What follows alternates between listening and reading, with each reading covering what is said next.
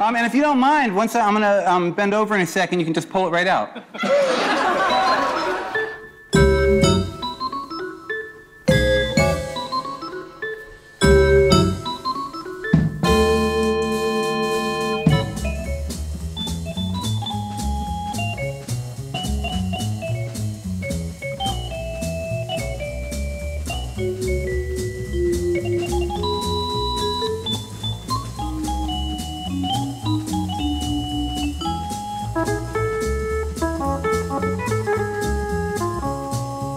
Thank you.